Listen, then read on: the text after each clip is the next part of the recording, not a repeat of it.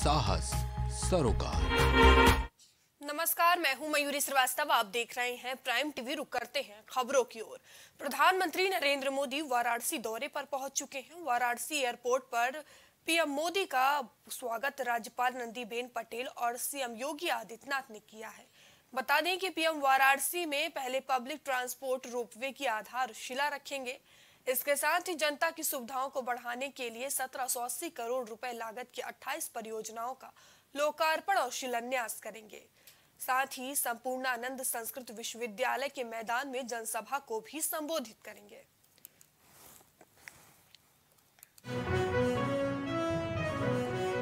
बड़ी खबर आपको बता रहे हैं, वाराणसी पहुँच चुके हैं पीएम मोदी। सीएम योगी ने पीएम मोदी का स्वागत किया है। 1800 करोड़ रुपए की परियोजनाओं का लोकार्पण करेंगे पीएम। बड़ी खबर आपको बता रहे हैं, वाराणसी पहुँच चुके हैं पीएम मोदी। बड़ी खबर आपको बता रहे हैं, जहाँ तमाम कार्यक्रमों में शामिल होंगे, वहीं वाराणसी की जनता को कई सौगात भी मिल सकती है।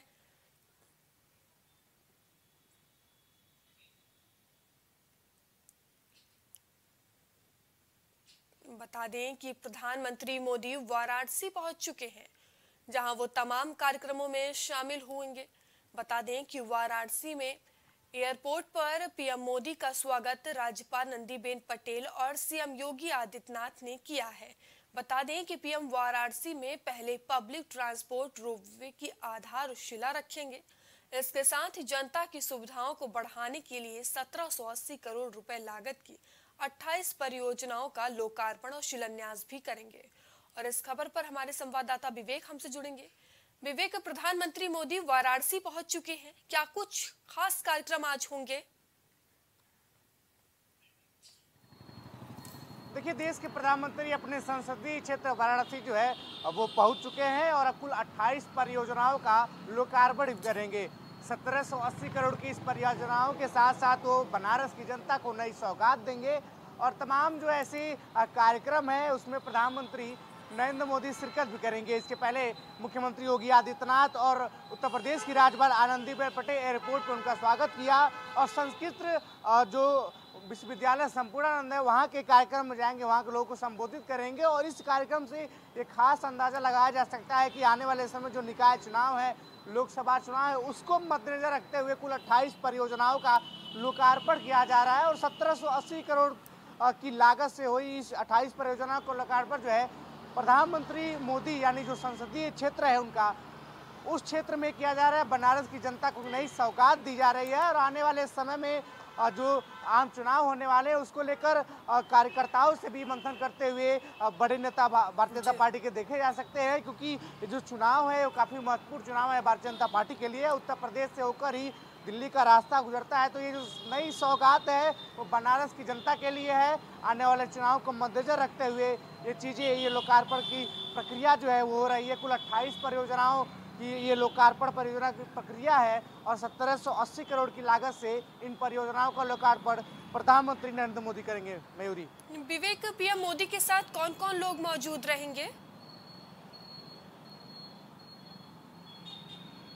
देखिए मयूरी प्रधानमंत्री नरेंद्र मोदी की नरेंद्र मोदी के साथ साथ जैसे उत्तर प्रदेश के मुख्यमंत्री योगी आदित्यनाथ राज्यपाल आनंदीबेन पटेल इसके अलावा भारतीय जनता पार्टी के बड़े पदाधिकारी और बनारस के जो बड़े पदाधिकारी हैं जो बनारस के बड़े नेता है जो कार्यकर्ता है वो लोग मौजूद रहेंगे और तमाम जगहों पर जो कार्यक्रम होंगे संपूर्णानंद संस्कृत विश्वविद्यालय के जो वहाँ के वीसी है जो वहाँ के बड़े पदाधिकारी हैं विश्वविद्यालय प्रशासन के वो वहाँ मौजूद रहेंगे। और इसके अलावा जो प्रधानमंत्री की सुरक्षा की अगर बात की जाए तो वो पूरी तरह से चौक चौबंद देखी गई है।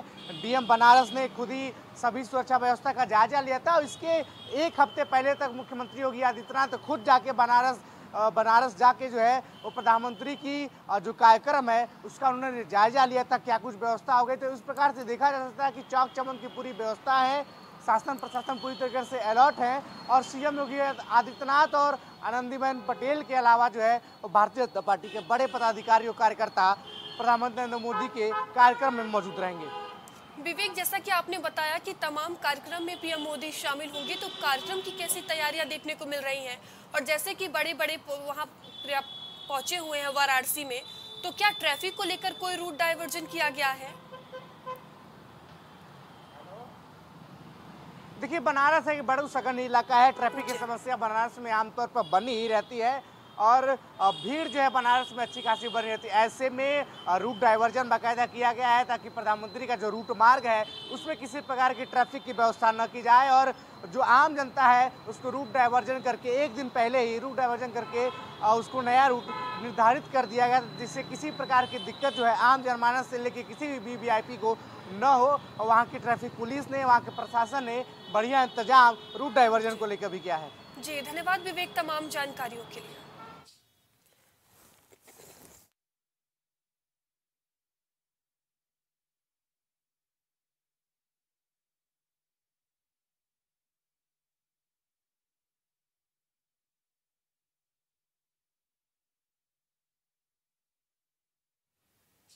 कांग्रेस अध्यक्ष मल्लिका अर्जुन खड़गे ने विपक्षी सांसदों की अहम बैठक बुलाई है। इस बैठक के बाद विपक्षी सांसद संसद में भवन से विजय चौक तक पैदल मार्च करेंगे। बता दें कि बैठक में सरकार को घेरने की रणनीति बनाने पर चर्चा होगी। इसके साथ ही 2019 के मानहानि मामले में राहुल गांधी को दो साल की सजा को लेकर अन्य राज्यों में कांग्रेस प्रदर्शन भी करेगी। बता दें, सरकार को घेरने की तैयारी में है कांग्रेस। मल्लिकार्जुन खड़गे ने अहम बैठक बुलाई है और ये आज बैठक होगी जिसमें कांग्रेस के तमाम सांसद शामिल होंगे। बता दें, इस बैठक में सरकार को घेरने की पूरी तरह से रणनीति बनाई जाएगी। और इस खबर पर हमारे संवाददाता विवांशु हमसे जुड़ेंगे। विवांशु, कांग्रेस अध्यक्ष मल्लिकार्जुन खड़गे ने विपक्षी सांसदों की अहम बैठक बुलाई है। क्या कुछ मंथन हो सकता है इस बैठक में? कांग्रेस के सांसद राहुल गांधी को गुजरात के सूरत की कोर्ट से दो साल की सजा सुनाई गई है। आपको बताएँ कि एक रैली के दौरान राहुल गांधी ने 2019 के दौरान मोदी सरनेम पर संबंधित एक बयान दिया था आपत्तिजनक बात कही थी जिसमें कहीं ना कहीं देखे तो ललित मोदी और साथ ही साथ नीरव मोदी और देश के प्रधानमंत्री के नाम लेते हुए मोदी सरनेम पर टिप्पणी की थी जिसके बाद आपको बताया कि राहुल गांधी इस मामले को लेकर चार बार कोर्ट में पेश होते हैं। चौथी दफ़ा उनकी तरफ़ से कहा जाता है, उनके वकील की तरफ़ से कहा जाता है कि भ्रष्टाचार के खिलाफ बात करते हुए वो इस तरह का बयान दिए हैं। क्योंकि नीरव मोदी और ललित मोदी देश के भगोड़े हैं वो देश के से पैसा लेकर विदेशों में गए हुए हैं तो उन कहीं ना कहीं उनका टारगेट था। उसके ठीक बाद आपको बताया कि गुजरात के एक भाजपा के नेता के द्वारा याचिका डाली गई थी। उसके बाद संज्ञान में लेते हुए माननीय कोर्ट ने राहुल गांधी को दो साल और पंद्रह हज़ार रुपए का जुर्माना लगाया था। इसको लेकर अब कहीं ना कहीं देखा जाए तो कांग्रेस पार्टी आक्रोशित नज़र आ रही है और कह रहा है कि ये साजिशन पूरी प्रक्रिया की गई है। उसके ठीक बाद आपको बताया कि कांग्रेस पार्टी के राष्ट्रीय अध्यक्ष मल्लिकार्जुन खड़गे विपक्ष के साथ एक अहम बैठक ले रहे हैं। बैठक की शुरुआत बात की जाए तो 10 बजे से हो चुकी है और विपक्ष के तमाम नेता मल्लिका अर्जुन खड़गे के साथ बैठकर और आगे की रणनीति पे चर्चा कर रहे हैं। आपको बताया कि इस बैठक में ये तय की जा रही है कि कांग्रेस पार्टी का आगे का जो रूट होगा, जो आगे का रोड मैप होगा, वो उस पर चर्चा की जा रही है। साथ ही साथ विपक्ष को साथ लेकर ये रोड मैप तैयार की जा रही है। वहीं आपको बताया कि दस बजे से ये बैठक शुरू हुई है और बारह बजे से एक मार्च भी निकाली जाएगी। मार्च के माध्यम से आज कहीं ना कहीं जो देश भर के आम कांग्रेसी नेता हैं वो अलग अलग जगह पे मार्च निकालेंगे। दिल्ली के राजधानी दिल्ली में भी मार्च निकाली जाएगी जिसकी अगुवाई कांग्रेस पार्टी के मल्लिकार्जुन खड़गे करेंगे। इसमें अगर बताएँ तो विजय चौक जाएँगे और राष्ट्रपति से महामहिम राष्ट्रपति से मिलने का समय मांग उनकी तरफ़ से भी मांगा गया है। वो माननीय महामहिम राष्ट्रपति से मिलकर इस मामले पे बात भी करना चाहते हैं। जी। विवांशु जो राहुल गांधी को दो साल की सजा सुनाई गई है उसको लेकर अन्य राज्यों में कांग्रेस प्रदर्शन करेगी तो ये किन राज्यों में प्रदर्शन देखने को मिलेगा?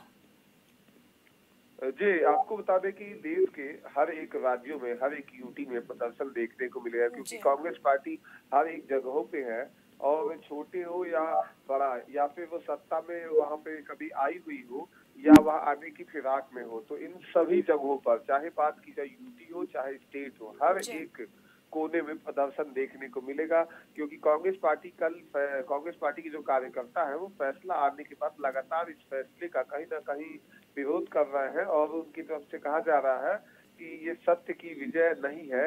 और राहुल गांधी ने कल एक ट्वीट करते हुए एक बात कही थी कि सत्य ही मेरा भगवान है। जिसके बाद आपको बताया कि कांग्रेस के तमाम जो नेता है, पदाधिकारी हैं, वो लगातार राहुल गांधी के समर्थन में बोलते हुए नज़र आ रहे हैं। देखने वाली बात ये होगी कि जो विपक्ष की बैठक चल रही है, इस बैठक में विपक्ष के नेताओं का क्या रुख रहता है? जी, धन्यवाद तमाम जानकारियों के लिए।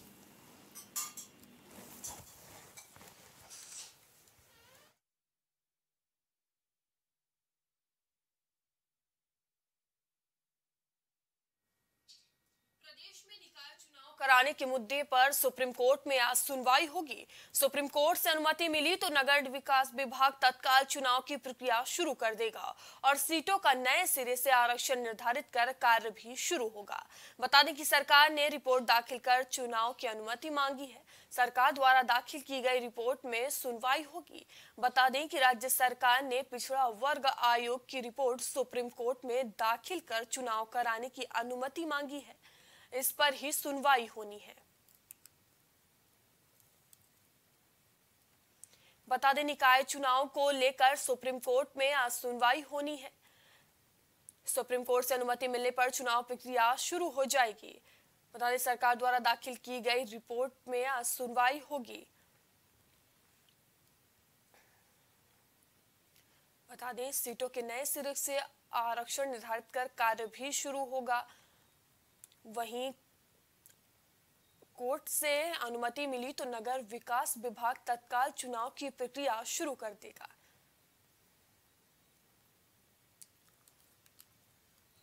प्रदेश में निकाय चुनाव कराने के मुद्दे पर सुप्रीम कोर्ट में आज सुनवाई होगी। बता दें, सुप्रीम कोर्ट से अनुमति मिली तो नगर विकास विभाग तत्काल चुनाव की प्रक्रिया शुरू कर देगा और सीटों का नए सिरे से आरक्षण निर्धारित कर कार्य की प्रक्रिया शुरू हो जाएगी।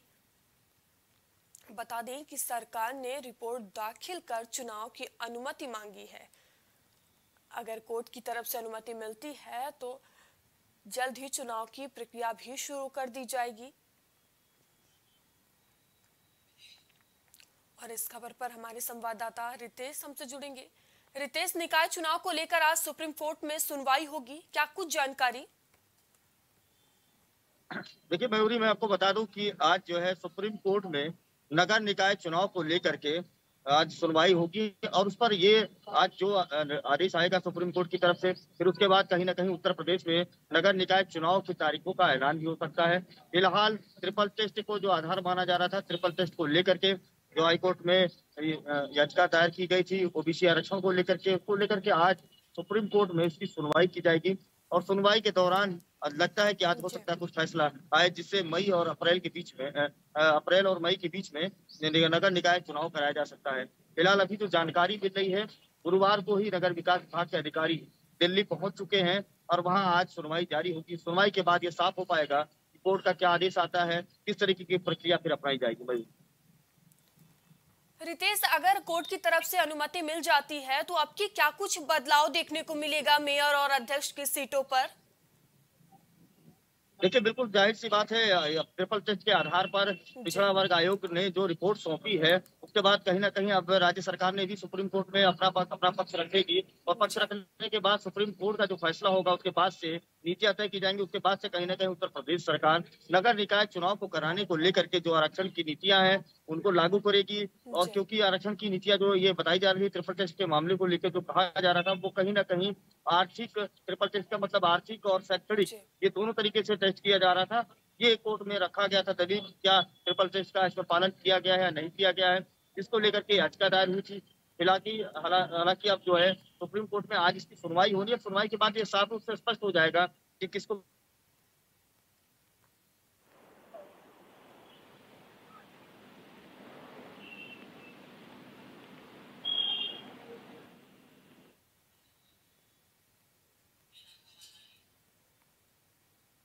बता दें, निकाय चुनाव पर सुप्रीम कोर्ट में आज सुनवाई होगी। सुप्रीम कोर्ट से अनुमति मिलने के बाद चुनाव की प्रक्रिया शुरू हो जाएगी। सुप्रीम कोर्ट से अनुमति मिलने के बाद चुनाव की प्रक्रिया शुरू हो जाएगी। और एक बार फिर से हमारे संवाददाता रितेश हमसे जुड़ चुके हैं। रितेश अगर सुप्रीम कोर्ट से आज सुनवाई होती है और फैसला आ जाता है तो क्या लगता है कब तक निकाय चुनाव हो सकते हैं? देखिए ज़ाहिर सी बात है यदि आज सुप्रीम कोर्ट में सुनवाई के दौरान अगर नगर निकाय चुनाव पर कोई फैसला सुप्रीम कोर्ट की तरफ़ से आता है तो कहीं ना कहीं उत्तर प्रदेश में अब ये व्यवस्था की जा रही है। कि अप्रैल से मई के बीच में चुनाव को पूरी तरीके से प्रक्रिया करा ली जाए।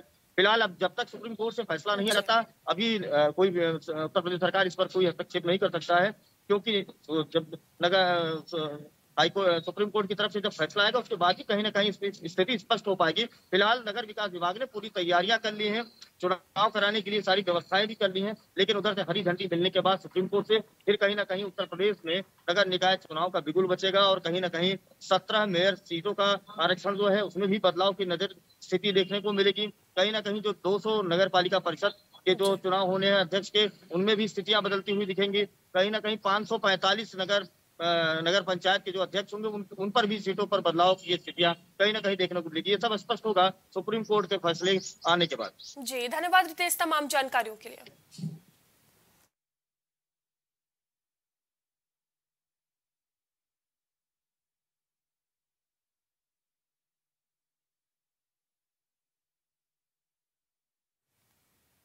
भारत में एक बार फिर से कोरोना वायरस के मामलों में बढ़ोतरी हुई है। बता दें कि देश में 140 दिन बाद कोरोना मामले के आंकड़े सामने आए हैं, जिसमें 1300 नए मरीज़ मिले हैं। वहीं बढ़ते मरीजों को देखते हुए केंद्र सरकार ने राज्यों को पत्र लिखकर कहा है कि संक्रमण रोकने के लिए बेहतर काम करना होगा। 24 घंटे के अंदर 24 नए कोविड मरीज़ मिले। नोएडा, लखनऊ, गाजियाबाद में भी कोविड मरीजों की संख्या बढ़ती जा रही है। वहीं इसको देखते हुए कई जिलों में जाँच का दायरा बढ़ा दिया गया है और रोज पचास हज़ार सैंपल जाँच करने के निर्देश दिए गए हैं। बता दें, संक्रमण रोकने के लिए बेहतर काम करना होगा। यूपी में कोविड मरीजों की संख्या लगातार बढ़ती हुई नज़र आ रही है। आए दिन कोरोना मरीजों की संख्या बढ़ रही है। 24 घंटे के अंदर 24 नए मरीज़ मिले हैं।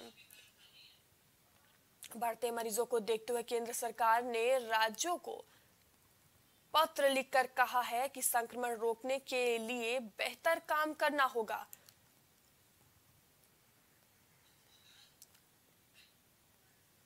बता दें कि लगातार कोविड के आंकड़े बढ़ते हुए नज़र आ रहे हैं, जिसमें 1300 नए मरीज़ मिले हैं।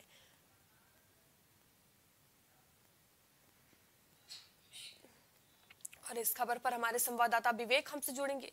विवेक, एक बार फिर से कोरोना का संक्रमण बढ़ता हुआ नज़र आ रहा है। वहीं बढ़ते मरीजों को देखते हुए केंद्र सरकार ने राज्यों को पत्र लिखा है। क्या कुछ इस पत्र में लिखा गया है? क्या कुछ दिशा निर्देश दिए गए हैं? देखिए मयूरी ये निश्चित तौर पर कही जाने वाली बात है कि कोरोना जो है बार फिर से अपनी दस्तक जो है वो देश में दे चुका है और इसके अलावा जो है राजधानी अगर लखनऊ की बात करें तो यहाँ पे कुछ एक्टिव केसों की संख्या 21 हो गई है। कल भी यहाँ पे तीन मरीज़ मिले थे और अब तक एक्टिव केसों की संख्या इक्कीस हो चुकी है और केंद्र सरकार ने बाकायदा राज्य सरकारों को एक खत लिख के कहा है कि वो अलर्ट मोड में रहे और जितने भी एक्टिव केस हो रहे हैं उन पर निगरानी रखी जाए होम आइसोलेशन में लोग रखे जाए और जो एक एक मरीज़ है उनकी खास तौर पर निगरानी रखी जाए कि किस किस क्षेत्र में कितने मरीज़ जो है, वो लगातार बढ़ते जा रहे हैं। इसके अलावा अगर बात की जाए तो काफ़ी ज़्यादा संख्या में वैक्सीनेशन लोगों ने करा दिया है, लेकिन अभी इस समय की बात की जाए तो अस्पतालों से, सरकारी अस्पतालों से वैक्सीन ख़त्म हो चुकी है। जी हाँ ना तो कोविडशील्ड उपलब्ध है, ना कोवैक्सीन उपलब्ध है। जब हमने स्वास्थ्य अधिकारी से इस बारे में पूछताछ करनी चाहिए तो उन्होंने कहा कि लोगों में वैक्सीन को लेकर इंतवाज जो है, वो ख़त्म हो चुका था और जो वैक्सीन है सरकारी अस्पतालों पे वो एक या दो लोग ही वैक्सीन लगवाने आते थे और पूरी की पूरी जो वैक्सीन की किट थी वो जो है, खुल के जो है, वो बर्बाद होती थी। इसके बाद स्वास्थ्य विभाग ने वैक्सीनेशन जो है, सप्लाई करना अभी तक बंद कर दिया है और सिर्फ़ निजी अस्पतालों पे ही जो है, वैक्सीनेशन की सुविधा उपलब्ध है क्योंकि सरकारी अस्पतालों में जो इंतजाज में है वैक्सीन को लेकर, वो बेहद कम था। इक्का दुक्का लोग ही वैक्सीन कराने आते थे तो ऐसे चक्कर में अभी तक सरकारी अस्पतालों में वैक्सीनेशन सुविधा नहीं है, सिर्फ़ निजी अस्पतालों में वैक्सीनेशन की ही सुविधा है। दूसरी बात यह है कि जिन लोगों ने जिन लोग संक्रमित हुए हैं, इसमें से कितने ऐसे लोग हैं जो दोबारा संक्रमण का शिकार हुए हैं? कितने ऐसे लोग हैं जिन्होंने वैक्सीनेशन कराई है, डबल वैक्सीनेशन कराई है, उसके बाद भी संक्रमण का शिकार है? ये सब सारी बातें हैं जो देखने लायक है, जो केंद्र सरकार ने राज्यों को भी ये ये बातें देखने को कही हैं। तो विवेक जिस तरह से अब कोविड का खतरा बढ़ रहा है जैसा कि आप अभी बता रहे हैं सरकारी अस्पतालों में वैक्सीन नहीं है तो क्या इसके लिए स्वास्थ्य विभाग द्वारा कोई एक्शन लिया गया है? जी अगर उत्तर प्रदेश की बात करें तो उत्तर प्रदेश में काफ़ी ज़्यादा संख्या में लोगों ने वैक्सीनेशन कराया है।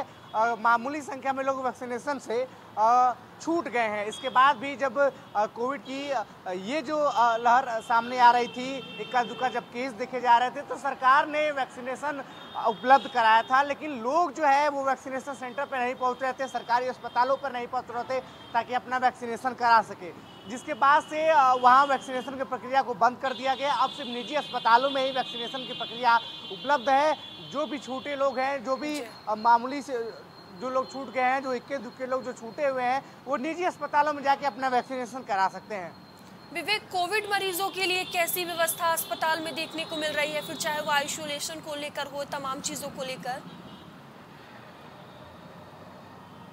देखिए अब तक जितने भी कोविड मरीज़ मिले हैं उसमें से कोई भी गंभीर कोरोना का मरीज़ नहीं मिला है। लगभग सारे जो मरीज़ है वो होम आइसोलेशन में है। इसके अलावा अलग अलग अस्पतालों में कोविड के लिए अलग वार्ड भी पहले से बनाए जा जा चुके हैं। बाकायदा डेडिकेटेड वार्ड बनाए जा चुके हैं, जहाँ पे कई बेड आरक्षित पहले से कर दिए जा चुके हैं, ताकि ऐसी कोई समस्या आने पर अस्पताल प्रशासन जो है, वो पूरी तरीके से तैयार रहे। लेकिन जितने भी एक्टिव केसेस हैं, वो लगभग सारे केस होम आइसोलेशन के हैं और ज़्यादा चिंता करने की बात अभी नहीं है। जी, धन्यवाद विवेक तमाम जानकारियों के लिए।